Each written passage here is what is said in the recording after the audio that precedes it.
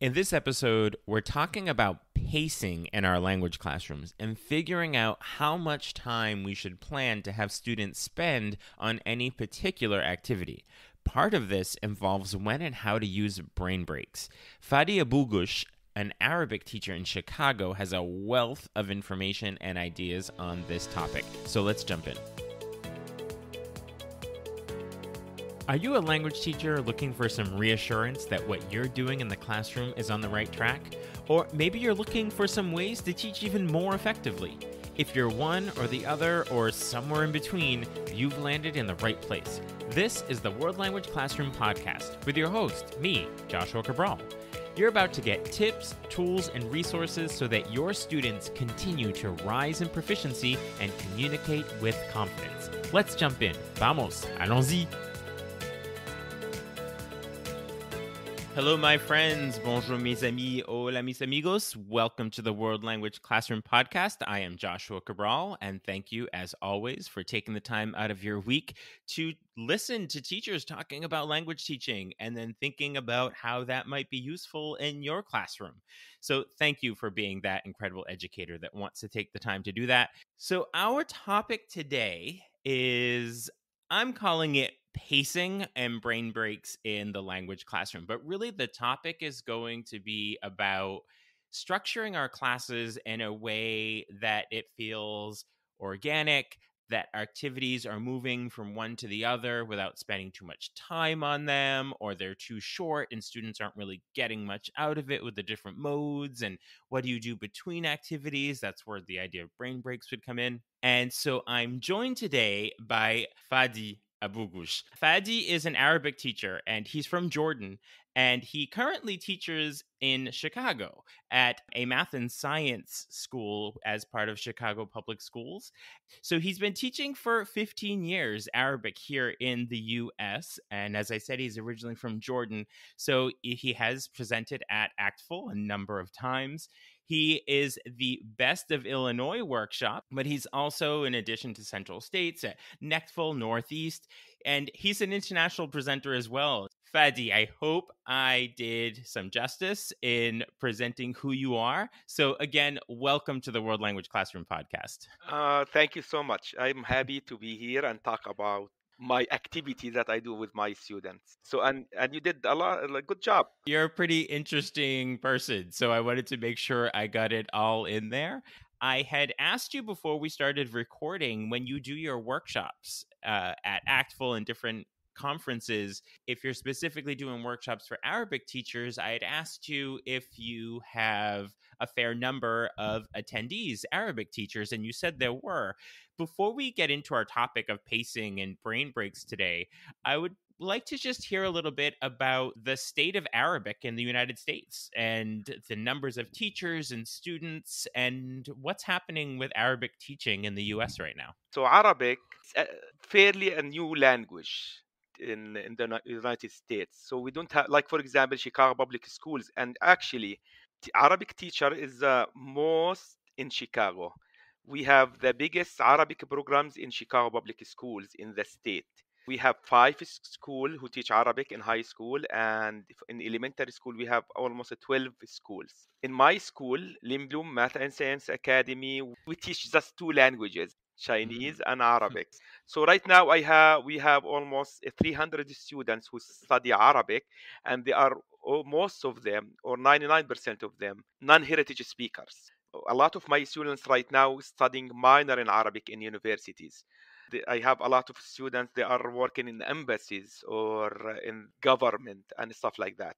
In the United States, we don't have a lot of teachers. Like usually because of that, we don't have like for example AP for Arabic because in order to have AP, we have to have Arabic in each state. In each state, we have some organization who help improve uh, like Arabic or have like workshop for Arabic. Like Qatar Foundation International in Washington, D.C., they started teachers' councils in some regions in the states and one of them are in chicago. So i am part of the board in the arabic teacher council in chicago. Thank you for for giving us that sort of update on the the state of where arabic is in in teaching. It's wonderful to hear how robust the program is in chicago. So congratulations. I'm sure you had a lot to do with that. So congratulations on thank that. you so much. Yeah welcome. So as we as we jump into our topic for today about class structure and pacing I think that when we look at putting together our classes and the different activities we're going to do, a lot of times we don't plan the pacing and structure a lot in advance. Like we know I'm going to do this activity, then I'm going to do this activity. But how important is it when we're putting our classes together to almost define like the amount of time so that the pacing of our class works? This is funny because already at the beginning of each semester or each year, I have to know which class I will be teaching in. Are uh, am I going to move from a classroom to a classroom? Am I using like for example, one of the years I taught in three classes. We have a lot of students in my school, so we need to uh, I need to know where I am going. Is it like I have to move with a car to a classroom or I'm going to use my own classroom? Lucky me this year i'm going to have my own classroom. But another teacher is using it also. So whenever i am free i have to move from the class another teacher will come to the class.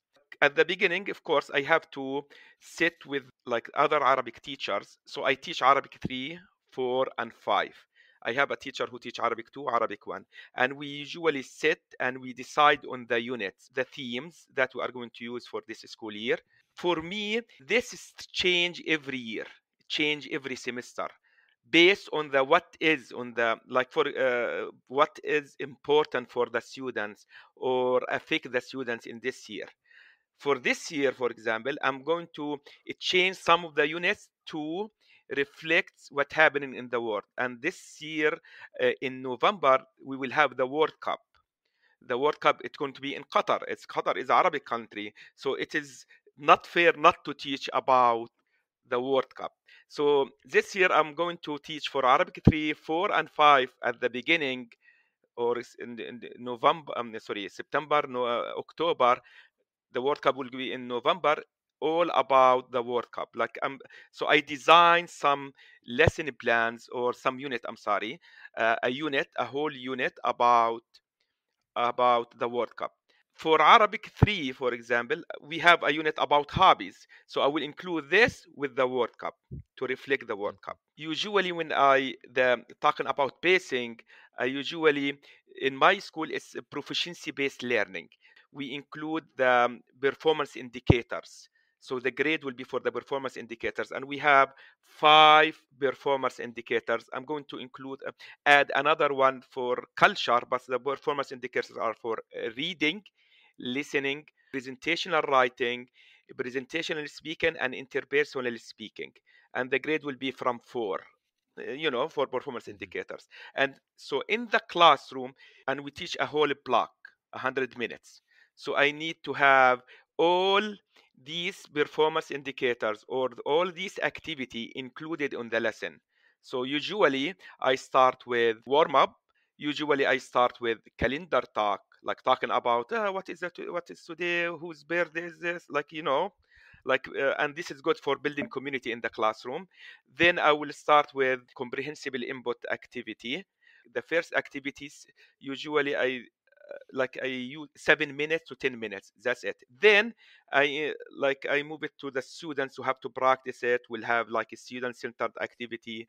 They will have will have some activity where they stand up, like uh, the two lines or circle, um, um, like the two circles, and the students will speak about the same thing. They practice. So usually input output, input output at the end like this is what i use usually i do in the classroom we'll have brain breaks eh, during the classroom in the whole classroom when you say 7 to 10 minutes for an activity and then you're moving on to a brain break, some sort of transition. Yeah. Do you then return to the same activity and continue with it, or are you changing to a different activity? Usually, when I design the activity, it's going to be seven to 10 minutes. Uh, unless I will go like, but most of the time I will go to another activity. Sometimes, based on the students, I will know. Oh my God, they are. Uh, I look at their faces, and I know from their faces that they need brain break right now. So we'll have Mhm. a brain break. So this is how I do it in the class. You're keeping it open to organically what's needed. Yes. You know, so if you're you're reading your Yeah. students' reactions and it's Yeah. time to move on. So I'm thinking with an interpersonal activity, seven to ten minutes seems like that would work, and then moving on. I'm curious about the transition from doing an activity to a brain break, then sometimes returning to the same activity like writing, and what is that like to get them back focused on task? Usually, when it is writing, I don't stop them when they are going writing. Writing is like it's not like stressful to do it. Like finish the writing and finish it. So I don't um, stop the writing to do brain break. Usually, the brain break most of the time is going to be after an input activity when I speak most of the time in the target language. Usually, the student will ask for a brain break. Like when it says, Mhm. says brain break, brain break. like if two students t- ask me for a brain break, I know the other students they are shy to ask, so I will do a brain break. Usually, I do like um, check for understanding when I am in the classroom. Uh, when whenever I do something incomprehensible. Okay, for example, um, we have sometimes uh, show me your hands, and if it is like one, four, three, two, one, it's, it is four. They are with me. Two, I see a lot of twos. Okay, they need a break usually I always put a card on, the, on their desk. If um, green, they understand. If a lot of students flip it to red on the other side, I know that they need help or they need like they like they are confused or something like that. On my w- whiteboard, I have I have like two side uh, white paper. Where is it? Arabic on the one side and the other side in English.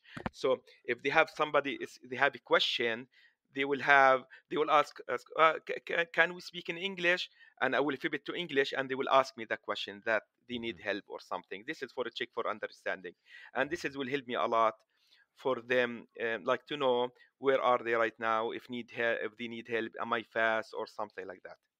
I really like the idea of using the the green and red card where you can just get that sense of looking around the room and doing that comprehension check that way. It's it's very organic and and working through. I'm i'm definitely going to try that this year. That's one of my things i'm putting on on my my list of things to do as soon as we start the school year so when we look at this idea of brain breaks like you've looked around you've seen that this is time for one or you've planned for one what are the benefits of doing a brain break rather than doing an activity that lasts 25 minutes what is the benefit of stopping the activity, making it shorter, and then doing a brain break? How does that serve the students? it is from the name brain break. It's a break for your brain. Like when they finish the brain break the students will be more excited. The, the, like the attention span will like they will be more into the class.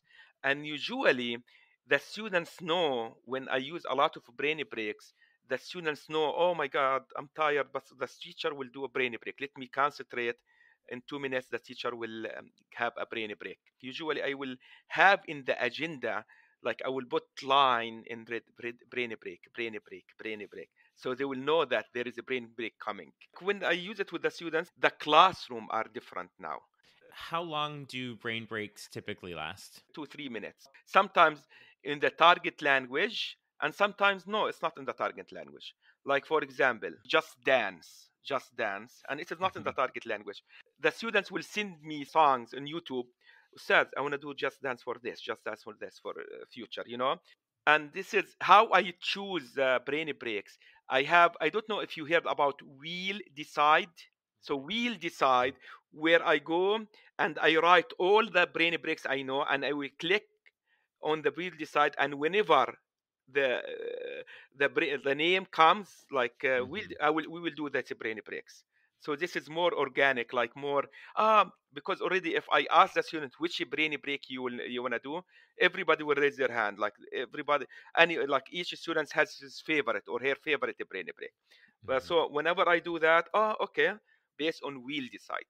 So I'll make sure and put a link in the show notes to actually I have a blog post on using Wheel Decide. Yeah. Um, and it's uh, just so everyone knows it's a website where it's a digital wheel and you Mhm. click on it and it spins and you can put anything you want into the wheel and whatever it lands on is what you do. It's fairly easy to put together. But I do have a, a blog post that on it. It's interesting that you mentioned that. So I'll make sure that goes in the show notes. I, I don't use it just for the you know brain break. I use it for speaking activities. Even if uh, I use it, I, I, I write the name of the students on the wheel decide sometimes. If I want to ask Mhm. somebody or topics and stuff like that, that's good. Yeah. Like it's a good uh, uh, website actually, and it's free.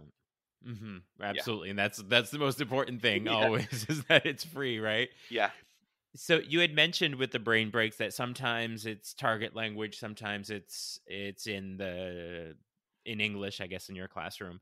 So with that happening, do you find some ways of connecting the content to them, or, or is it sometimes just very different? Sometimes it's very different. It's not connected what of what I'm teaching, but most of the time is not connected. But sometimes this is I, I try to use like for like I said, just dance or Mhm, this or that. I will use it for example. There is another brain brace called this or that, where mhm, I play on YouTube and I will look, for example, this or that Arabic food, and there is a lot of option to use it in the classroom. And Mhm. after the students choose, uh, like if, for example, hummus or falafel, and the mhm, students I will go to falafel and will will count one, two, three, four, five, six, seven, ten, and they will uh, they have to do like a sort of dance, mhm, or they will do like some practice mhm. or something like that. So I, I like to connect it if I can connect it to a Mhm. culture. So I think that we are often very much on the the target language in the classroom and everything has to be connected and we don't have a lot of time and I think that if we look at these brain breaks that you know they're not necessarily going to be connected to the content because it is an opportunity for students to remove themselves from the content for just a couple of minutes and then when they go back they'll actually be more focused like that's the point of doing it in the first place so if you're trying to keep the target language and the focus happening during the brain break, then it kind of defeats the purpose. A hundred percent, a hundred percent. It's a break. It's a brain Mhm. break. You don't have to do it in Arabic or the Spanish or something. Yeah. And even like, it, but uh, like if you do just dance in the Arabic song or English song, it's fun. The same thing. They Mhm. are dancing, so it's not. They Mhm. are not constant learning the song or learning the word of the song. They are just Mhm. dancing with the music. So I think that teachers are listening to this and thinking, okay, I see the benefit of this, but they're probably going to want to leave this episode with some brain break ideas. So I think you probably have a lot of brain break ideas. So could you share a couple with us? We talked about the dancing, the this or that. What are other things that you would recommend for brain breaks in the classroom? There is um, a brain break I learned from La Maestra Loca. It's called um, obstacle course. You will go to YouTube, write obstacle course, and you will see a little guy doing a little boy doing some uh, like activities so whenever I do it, like I will let the students, everybody stand up. I play the video or the YouTube, and w- we will do the same movement that the little guy, little, little boy is doing it. Yeah, and I will say it this way because they are seeing the like it's command, like TPR, but with video. So mm-hmm. uh, like run, run, run, stop, run, run, jump, run. You know, and it is good. And the the nice thing about this one you can change the speed of the video. So Mhm. instead, like they will they will run fast or some, something like that. Another one, for example, uh, the students will stand up in a circle. This is my one of my favorite. Everybody will stand in a circle, and this, uh, we will count to ten in the target language or in English if it is a new classroom. And the student can say number, one number, two numbers, or three numbers like for example uh, and they will start uh, start uh, start saying the numbers from 1 to 10 so i will say for example 1 2 3 the another next one 4 5 6 7 8 9 10 anybody will say 10 when uh, he has to sit down and we continue. 1 2 3 4 5 6 7 8 10 until and it is, uh, until the end we'll have two students and who is the winner uh, like if you see 10 you will lose. You i don't right. know if they got it but this is if the students at the classroom more advanced you can continue to 100 anybody will Mhm. see 10 20 will sit down Yeah, I've done some modifications with that using the same idea, but with days of the week. Where Oh if God. you say, if you're the one who has to say Friday, so you can say Monday, Monday, Tuesday. If you have to say Friday, you're the one who sits down. I've done it with months. oh if my god this is a good uh, actually i'm writing it yeah, down right now yeah, right. Um, so, like when I do it in a French class, there are three months that when you write them, they have different accents on the letters than the other months. So, to make sure students are aware of that, we go around and we do January, February, March. And if you say one of the three months that has an accent on it, you have to sit down.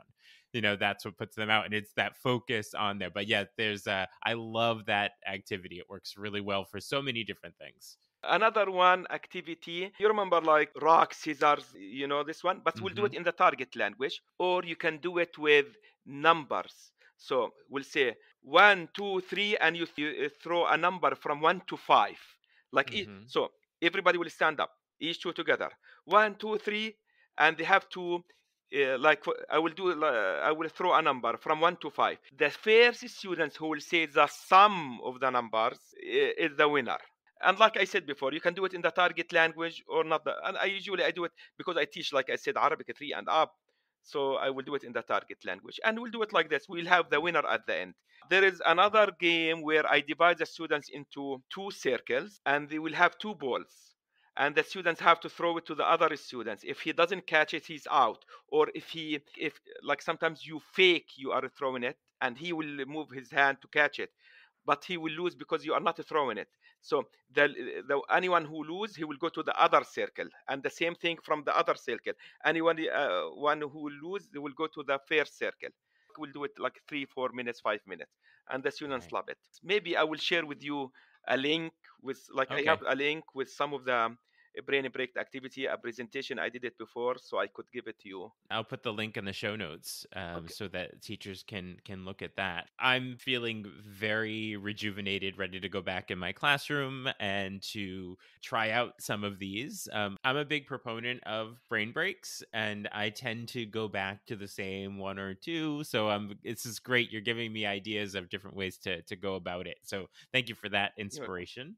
And speaking of inspiration, I'm curious where you continue to find your inspiration from.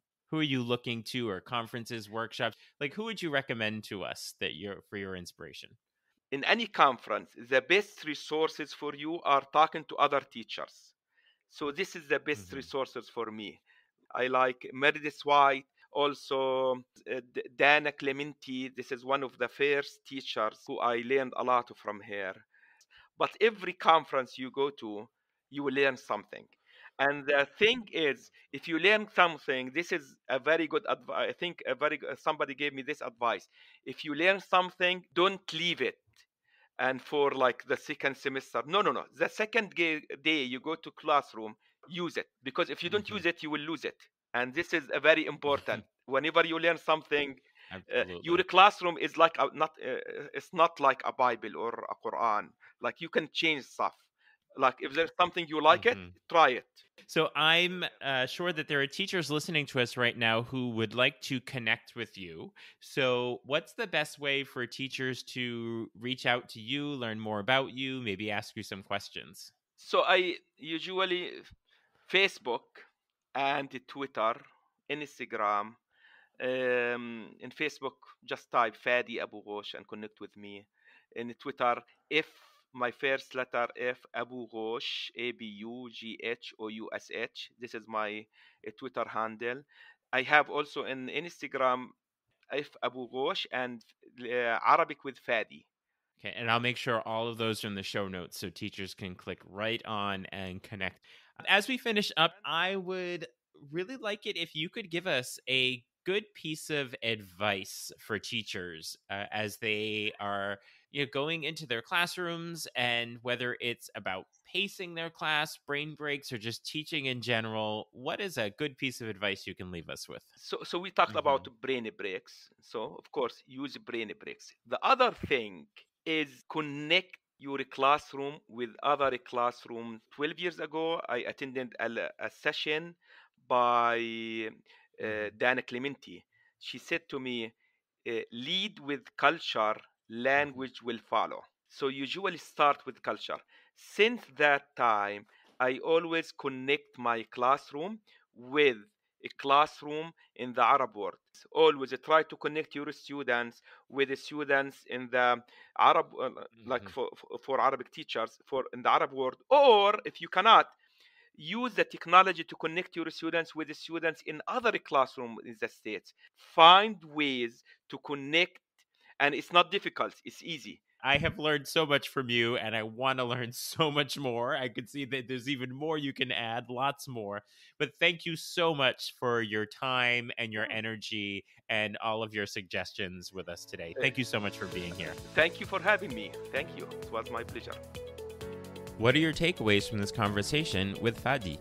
I'm sure going away from this conversation with a renewed understanding of the importance of brain breaks, along with a few new ideas I'm going to try out tomorrow. Be sure to check out the show notes to connect with Fadi. You'll also see the link to sign up for Talking Points, my weekly email newsletter with tips and resources for language teaching. There are also links to get in touch with me if you'd like to work together, either in person in your school or remotely. Talk to you soon. Bye for now. You've been listening to the World Language Classroom podcast. Be sure to follow or subscribe wherever you're listening so you don't miss a single episode. Let's continue the conversation on Twitter, Facebook, or Instagram at WL Classroom. You can also see over 250 blog posts about language teaching at, you guessed it, WLClassroom.com.